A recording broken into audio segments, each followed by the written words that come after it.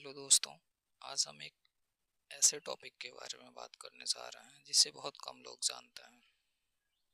लेकिन उसकी ज़रूरत उन्हें आए दिन समाज में पड़ती रहती है।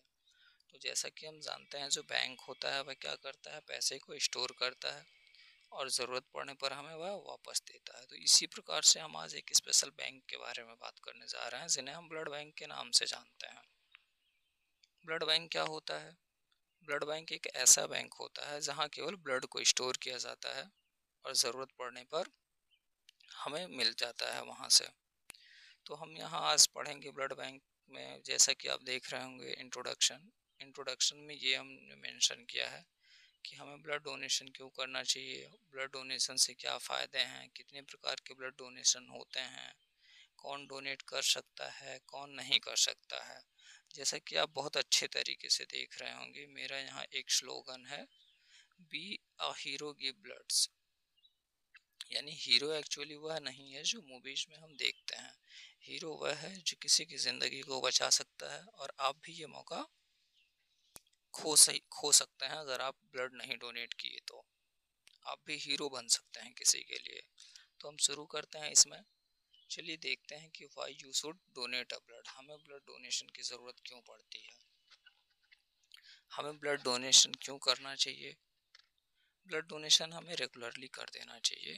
इससे क्या होता है कि हमारे शरीर में कोई हार्ट की समस्या है लीवर से रिलेटेड समस्या है, इन सबसे हमें क्या होता है? कोई दिक्कत नहीं रहती है अगर हम डोनेशन करते रहते हैं। एक डोनेशन से आप क्या कर सकते हो? तीन लोगों को बचा सकते हो। One blood donate can save up to three lifes there is no substitute for human blood human blood का कोई भी सबस्टिट्यूट नहीं है, क्योंकि ये एक ऐसा कंपोजिशन होता है जिसे आउटसाइड ऑफ़ ह्यूमन बॉडी नहीं बनाया जा सकता है। ब्लड को केवल सिर्फ़ ह्यूमन बॉडी में ही बनाया जा सकता है। आप जो है वॉलेंट्री डोनेशन करते रहिए, वही एक अच्छी चीज़ है। आप किसी को गिफ्ट देंगे तो पैसा देंगे, कपड़ा देंगे, कुछ खाने की चीज़ें देंगे, लेकिन अगर आप किसी को ब्लड गिफ्ट में देते हैं तो आप उसकी ज़िंदगी उसे वापस कर देते हो। Blood is the most precious gift that anyone can give to another person. यानी ब्लड एक ऐसा गिफ्ट है, जिसकी कोई कीमत नहीं लगाई जा सकती, ये प्रीसियस गिफ्ट है। जैसे हमारे लिए वाटर एक प्रीसियस गिफ्ट है गॉड के द्वारा, उसी तरीके से हम किसी को ब्लड गिफ्ट में दे सकते हैं। Every two seconds, someone in the US required a blood transfusion according to the American Red Cross. Red Cross the benefit of donating blood including helping people injured in accident undergoing cancer treatment and battling blood disease among other reasons American Red Cross Society के द्वारा एक guidelines जारी की गई जिसके द्वारा यह हमें बताया गया कि एवरी दो सेकंड में एवरी टू सेकेंड्स में, किसी न किसी को ब्लड की ज़रूरत पड़ती रहती है, चाहे वह ट्रामा का केस हो, चाहे कैंसर ट्रीटमेंट का केस हो, चाहे कोई भी डिलीवरी का केस हो, सबको क्या होता है कि ब्लड की ज़रूरत पड़ती ही रहती है कहीं ना कहीं। ब्लड डोनेशन से क्या क्या फ़ायदे हैं, हम ये देखेंगे। ब्लड डोनेशन से हमारा फ़िज़िकल हेल्थ ठीक रहता है इमोशनल हेल्थ ठीक रहता है। जो हमारे अंदर नेगेटिविटी आती रहती है, वह भी इससे दूर रहती है और हम ब्लड डोनेट डोनेट करके अपने आप को प्राउड फील करते हैं। और क्यों ना करें? क्योंकि हम ब्लड डोनेट तो किए हैं, लेकिन उससे हम क्या कर सकते हैं? तीन लोगों की ज़िंदगी को बचा सकते हैं। अब हम देखेंगे जो ब्लड डोनर्स होते हैं। जो ब्लड डोनर होते हैं वॉलेंट्री भी होते हैं। मेनली जो वॉलेंट्री ब्लड डोनर होते हैं, वह रेगुलरली बेस पर ब्लड डोनेशन करते रहते हैं, जिससे कम्युनिटीज में सप्लाई चालू रहती है। ब्लड डोनर हमारे कितने प्रकार के होते हैं, ये देखेंगे। टाइप्स ऑफ़ ब्लड डोनर तो हमारे पास पाँच प्रकार के ब्लड डोनर्स होते हैं। एक वॉलेंट्री दूसरा replacement autologous professional and apheresis तो हम बात करते हैं वॉलेंट्री डोनर के बारे में। ऐसे डोनर जो ब्लड दे करके उसके बदले उन्हें कोई बेनिफिट नहीं चाहिए। तो इस प्रकार के डोनर को हम वॉलेंट्री डोनर कहते हैं। अब बात करते हैं रिप्लेसमेंट डोनर के। ऐसे डोनर जिनके पेशेंट एडमिट एडमिट होते हैं किसी वार्ड में और उन्हें ब्लड की नीड होती है तो वह डोनेशन करते हैं और उसके बदले ब्लड लेके जाते हैं। तो इस प्रकार के डोनेशन को voluntary donor sorry replacement donor कहते हैं। अब बात करते हैं हम ऑटोलॉगस डोनर के बारे में। तो ऑटोलॉगस डोनर वह होते हैं जो अपना ही ब्लड खुद के लिए स्टोर कराते हैं। उसे ऑटोलोगस डोनर कहते हैं। जैसे कि मेरा ब्लड कोई रेयर ग्रुप हो, just like Bombay blood group अगर किसी का है और उसकी सर्जरी होनी है, जिसमें ब्लड की ज़रूरत पड़ेगी तो उसे तो पता है कि जो है उसका ब्लड मिल नहीं सकता। तो वह क्या करता है, सर्जरी के एक दो महीने पहले ही अपना ब्लड ब्लड बैंक में स्टोर करा देता है। इस प्रकार के डोनर को हम ऑटोलॉगस डोनर कहते हैं। अब बात करते हैं प्रोफेशनल डोनर के बारे में। तो प्रोफेशनल डोनर वह डोनर होते हैं जो क्या करते हैं? ब्लड डोनेशन के बदले पैसा लेते हैं। प्रोफेशनल डोनर को गवर्नमेंट ने बैन किया हुआ है कि अगर कोई भी प्रोफेशनल डोनर है तो उसे एक्सेप्ट ना किया जाए। अगर आप ऐसा करते हुए पकड़े जाते हैं तो आपको जेल भी हो सकती है। अब बात करते हैं हम एफ्रेसिस डोनर के बारे में। ऐसे डोनर जिनके शरीर से सिंगल कंपोनेंट निकाले जाते हैं जस्ट लाइक प्लाज्मा हो गया प्लेटलेट्स हो गया तो इस प्रकार के डोनर को हम एफ्रेसिस डोनर कहते हैं। अब हम बात करते हैं डोनर सेलेक्शन। अगर हमारे पास कोई व्यक्ति आता है तो हम उसका ब्लड एक्सेप्ट कैसे, क्यों करेंगे? कैसे करेंगे? क्या प्रोसीजर है? तो पहला रजिस्ट्रेशन, दूसरा मेडिकल हिस्ट्री, तीसरा फ़िज़िकल एग्जामिनेशन और चौथा लेबोरेटरी टेस्टिंग। अब हम बात करते हैं रजिस्ट्रेशन ऑफ़ डोनर। जब आप ब्लड बैंक जाते हो, आधार कार्ड दिखाते हो तो आपको एक ऐसा एक, जैसा कि यहाँ दिख रहा है आपको, ये एक फॉर्म दे दिया जाता है। आप उसे फिल करके लाते हो। यही क्या कहलाता है? यही रजिस्ट्रेशन फॉर्म होता है। इसमें क्या क्या होता है? आपको डेट ऑफ़ डोनेशन यानी आप अगर आज गए हो तो आज की डेट डालोगे, फिर नेम ऑफ़ डोनर कौन ब्लड दे रहा है, उसका नाम भरोगे, फिर उसके पिताजी हैं तो पिताजी का नाम, अगर महिला है तो उसके हस्बैंड का नाम।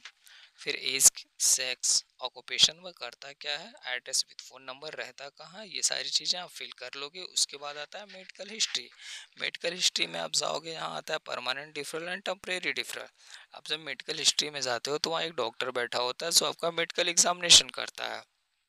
वो आपसे कुछ क्वेश्चन करता है और आप उसका आंसर सही सही देना होता है. अगर उसे लगता है इन सब क्वेश्चन के बाद कि आप एक्सेप्ट कर, का ब्लड एक्सेप्ट करने लायक हो तो वह आपको अप्रूवल दे देता है और आप ब्लड डोनेशन के लिए कैपेबल हो जाते हो। अब क्राइटेरिया आता है। क्राइटेरिया में जो है जो भी व्यक्ति है सबसे पहले उसकी एज कितनी होनी चाहिए? अट्ठारह से पैंसठ वर्ष होनी चाहिए। बॉडी टेम्परेचर सैंतीस डिग्री सेल्सियस होनी चाहिए। उसका ब्लड ग्रुप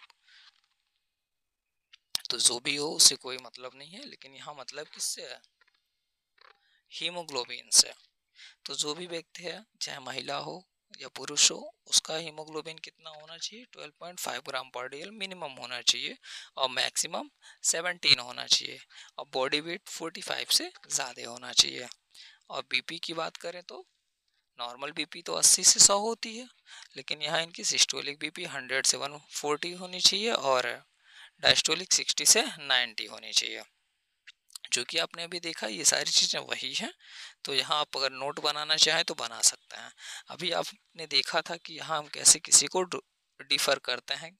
तो डिफ़र किसी को लाइफ टाइम के लिए कर दिया जाता है, किसी को वन ईयर के लिए किया जाता है किसी को सिक्स मंथ के लिए किया जाता है। तो हम यहाँ देखेंगे कि किसको one month one, six month के लिए किया जाता है, किसको वन ईयर के लिए किया जाता है और किसको लाइफ टाइम के लिए किया जाता है।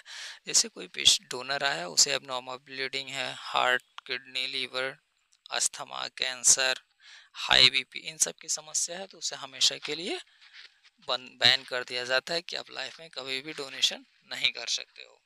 अगर कोई भी व्यक्ति आता है, वह मेजर सर्जरी है, टाइफाइड है, उसे कुत्ते ने काट लिया हो या कोई महिला हो तो वह क्या कर रही हो? बच्चे को दूध पिला रही हो या प्रेगनेंसी की, का केस हो तो इसमें हम क्या कर सकते हैं? उन्हें साल भर के लिए बैन कर देते हैं कि आप साल भर साल भर ब्लड डोनेट नहीं कर सकते हो और साल भर के बाद आप चाहो तो आप डोनेशन कर सकते हो।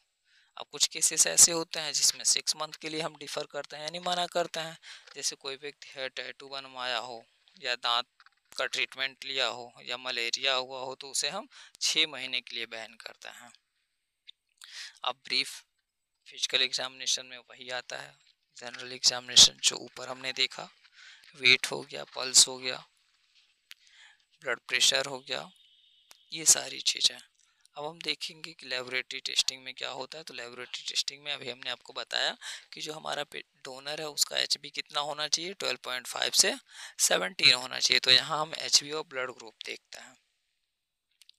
अगर कोई भी डोनर आता है तो उससे हम कुछ क्वेश्चन करते हैं और उसे कुछ इंस्ट्रक्शन देते हैं। जैसे कि पहला, कोई भी व्यक्ति आता है तो उससे हम ये पूछते हैं कि आप आपको नींद अच्छे से रात में आई है या नहीं है, आप अच्छा खाना खा के आए हो, पेट भरा है आपका या नहीं, आप पानी वगैरह सब पिए हो या नहीं, ये सारी चीज़ें देखते हैं।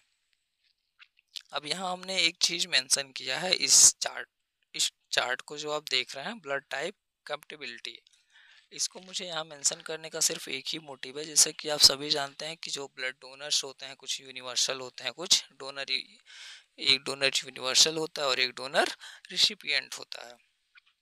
तो आपको मैं ये बता दूँ कि जो हमारा यूनिवर्सल डोनर होता है, वह तो ओ ओ ब्लड ग्रुप तो होता ही है, लेकिन ओ ब्लड ग्रुप में कौन होता है? ओ निगेटिव होता है। और जो हमारा यूनिवर्सल रिसिपियंट होता है, वह ए बी पॉजिटिव होता है। अब यहाँ कंक्लूजन में हम देखेंगे। कंक्लूजन में यही हम देखते हैं कि ये जो हमने पाँच दस मिनट का जो भी पीपीटी देखा है इससे हमें क्या समझ में आता है? तो कोई, ये ब्लड से ही रिलेटेड है, डोनेशन से रिलेटेड? तो ब्लड डोनेशन की ज़रूरत हमें क्यों पड़ती है? हमने जाना कोई भी पेशेंट है सर्जरी का केस है तो उसे ब्लड की रिक्वायरमेंट होगी। कैंसर ट्रीटमेंट क्रोनिक इलनेस है ट्रामा केस है प्रेगनेंसी केस है, इन सब में क्या होता है? ब्लड की नीड पड़ती रहती है। और हम ये भी जानते हैं कि एवरी टू सेकेंड में किसी न किसी को ब्लड की ज़रूरत पड़ती रहती है तो हमें क्या करना चाहिए? प्रॉपरली वॉलेंट्री डोनेशन के रूप में अपना ब्लड डोनेट करते रहना चाहिए, क्योंकि अभी हमने आपको बताया मूवीज़ में सो दिखाए जाते हैं एक्चुअली वह हीरो नहीं होते। हीरो तो आप कहलाओगे अगर किसी को ब्लड दोगे और उसकी ज़िंदगी बचाओगे। ये, इन सारे क्वेश्चंस को हमने इस पीपीटी के माध्यम से अरेंज किया है। अगर आप पीपीटी को ध्यान से पढ़ते हैं या सुनते हैं तो आप इन सारे क्वेश्चंस का आंसर इजली दे सकते हैं। अगर ये वीडियो आपको समझ में आता है तो आप लाइक शेयर कमेंट और चैनल को सब्सक्राइब कर सकते हैं। और अगर आपको किसी और टॉपिक पर वीडियो चाहिए तो आप कमेंट करके हमें बताएँ और हम उसको अवेलेबल ज़रूर कराएँगे। Thank you for watching my videos please like share and subscribe my channel